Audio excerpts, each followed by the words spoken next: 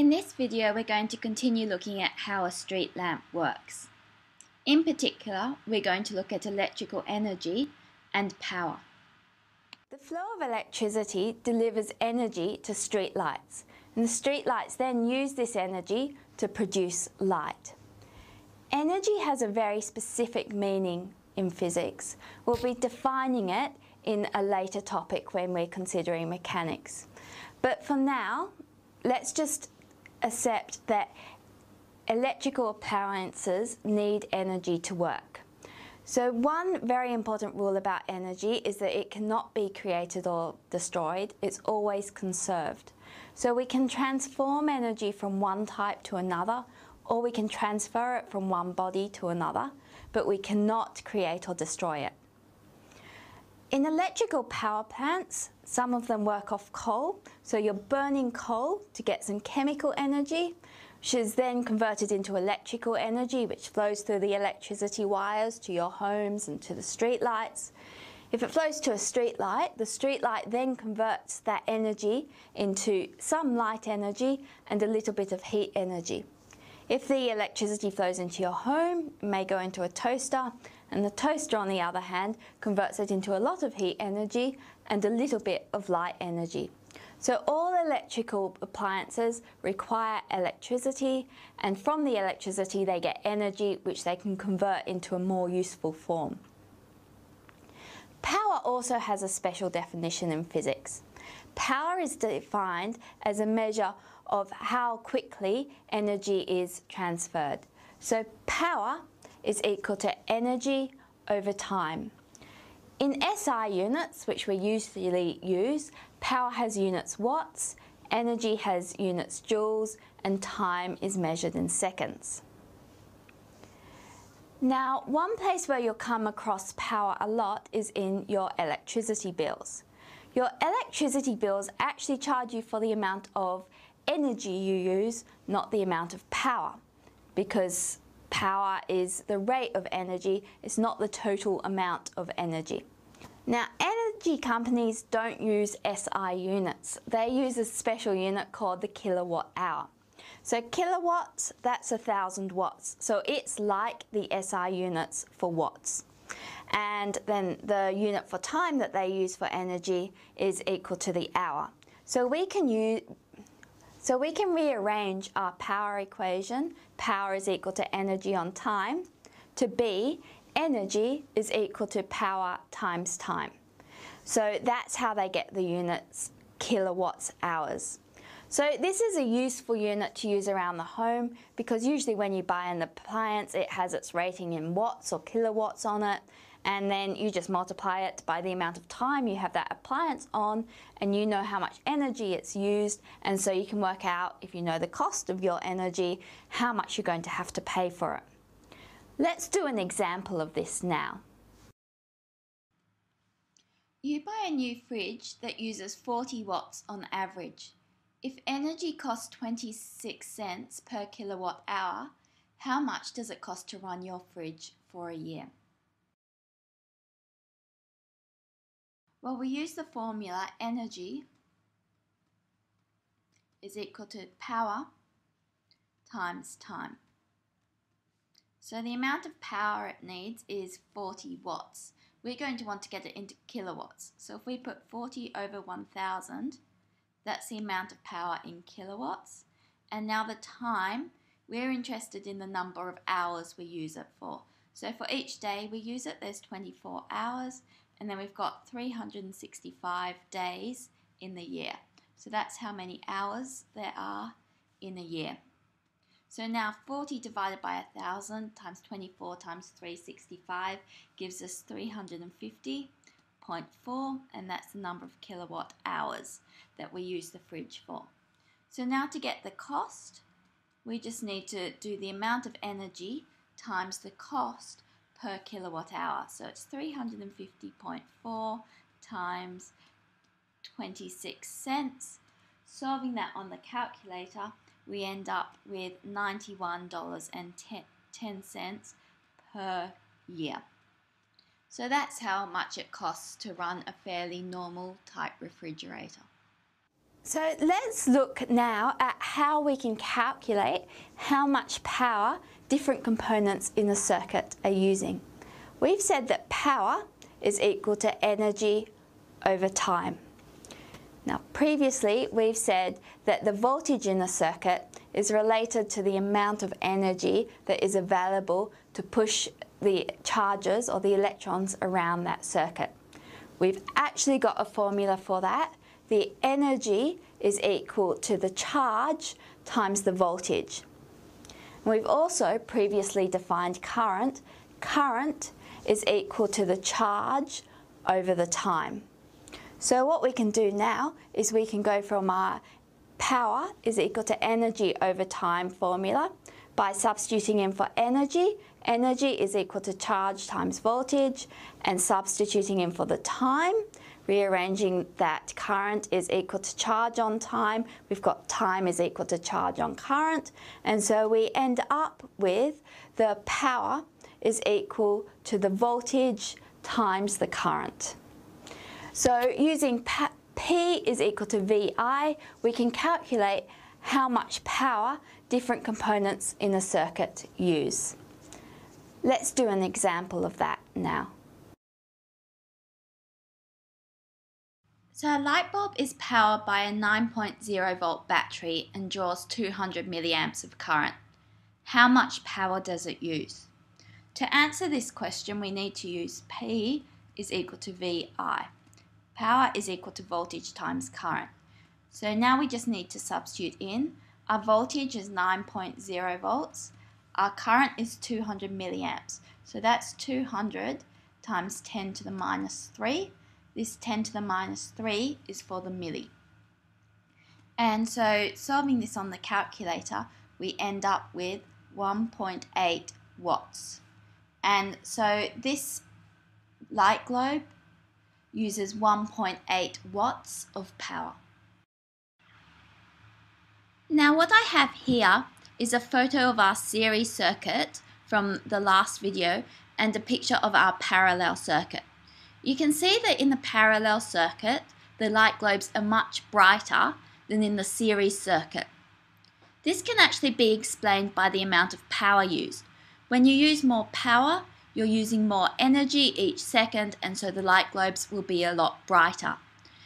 Let's look at the values we had from the last video and just calculate the approximate power being used by each of these light globes. So in the series case, we found that the current through each light globe was around about 2.3 milliamps and that the voltage drop across each light globe was approximately equal to 4 volts. And so the power used in this case is just given by VI, which is equal to 2.3 times 10 to the minus 3 times 4. And so solving this, we have 0.0092 watts. In the parallel case, we found that the current through each globe was on average 4.2 milliamps and that the voltage drop across each globe was 12 volts. And so in this case, P is equal to VI, which is equal to 12 times 4.2 times 10 to the minus 3. And solving this on the calculator, we get 0.0504 watts. So you can see this number is much larger than this number. And so that is why the light globes were much brighter in the parallel case. Now governments want to use very efficient lights for street lights because they have to pay the bill for keeping the street lights on. So they're going to look for the most efficient type of light. The other thing that they need to take into consideration is the colour of the light. Because we've evolved on Earth with the sun, we like yellowy light and our eyes are much better at dealing with yellow light than with light which is red or blue.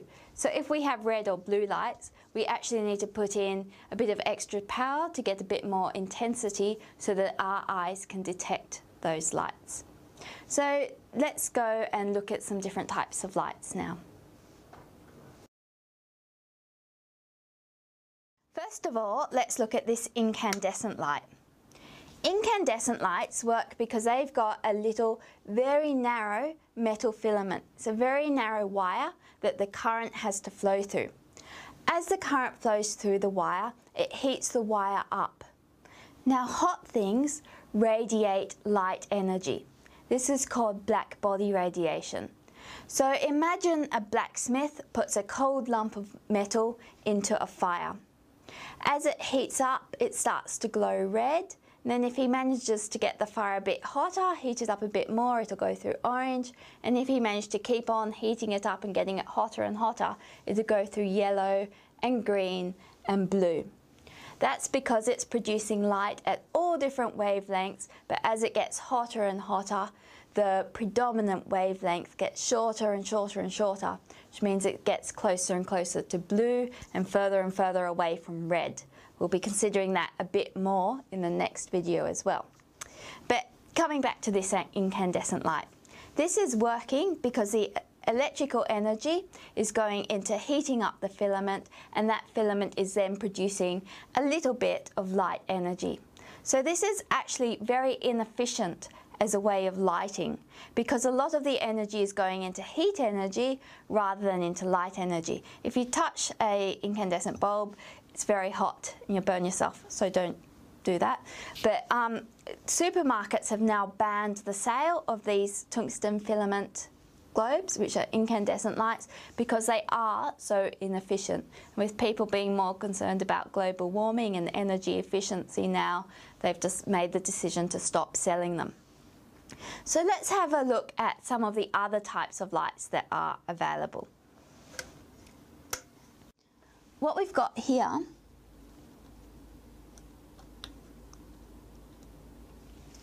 is an LED light. LED lights also require some current to work, but they're much more efficient at converting that electrical energy into light energy. One of the big differences about the light produced by an LED to the light produced by an incandescent light is that LEDs only produce light with a very limited wavelength. So the, this one is a green LED, so it's only producing light with a green wavelength of around about 450 nanometers. These LED lights are much more efficient because they're just using that electrical energy to produce the light and the lights of the specific wavelength that we want.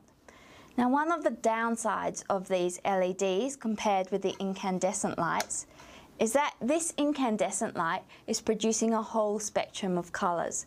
This one's producing quite a lot of yellow light like the sun. So if you have this light on in a room, the room feels nice and warm, feels a bit like a sunny day, and we've evolved to like light with that wavelength and also with that spectrum with a lot of light with other wavelengths as well. So LED lights can seem a bit cold and stark in comparison because there's just the single wavelength or almost the single wavelength being produced by them. So because LED lights are much more efficient than the incandescent lights, traffic lights have been being replaced by LED lights. So traffic lights will have a whole lot of little red dots or little green dots on them, which are a whole lot of LEDs, we need lots of them so that we can get the, enough intensity for you to be able to easily see the light so that you know if you should stop or go. So at the moment, this green light is a bit less intense than this incandescent one, and that's just because this one's being powered by a small battery, and this one is being powered, there's a lot more energy going through it from this power supply. So let's have a look at another type of light now, Street lights are actually mainly metal halide lights.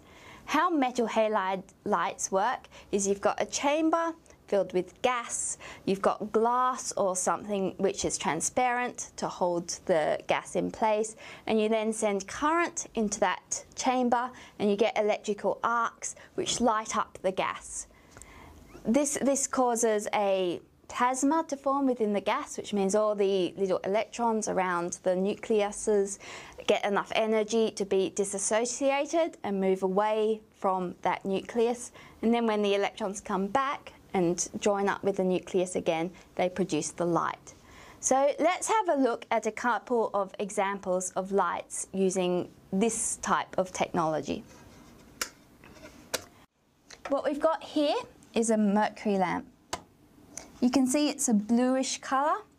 With these gas discharge lamps, metal halide lamps, they can take a little minute to heat up and to reach their final colour. This lamp here has a different type of gas in it. It's got sodium gas in it.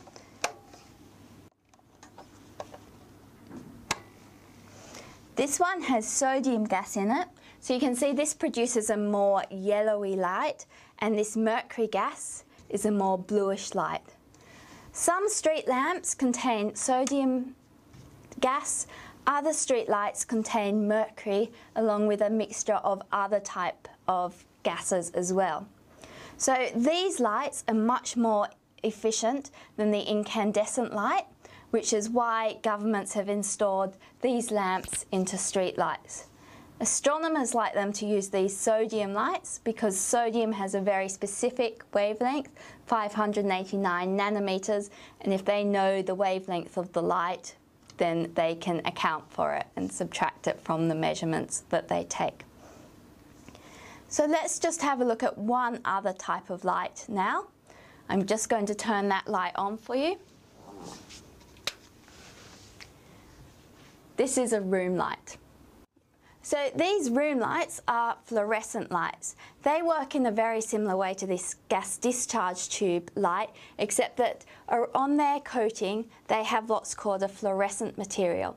So the gas inside the fluorescent lights actually produces wavelengths in the UV range, which we can't see, but that UV range then interacts with the fluorescent coating on the outside of the lamp and that interaction produces light with a visible wavelength.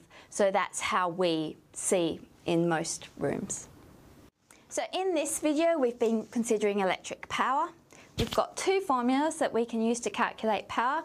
Power is equal to energy over time, or power is equal to voltage times current. The first one we use if we know the energy and the time involved. The second one we use if we've got an electric circuit and we need to use and we need to work out how much power flows through different components. To be efficient, we want as much of that electrical energy being converted to the type of energy that we want, so light energy for a light, or for example, heat energy for a heater, and as, as little as possible of the energy being converted into unuseful forms, which can include heat energy or sound energy, depending on the situation. In the next video, we're going to discuss the photoelectric effect, which is the first bit of evidence we have for quantum mechanics.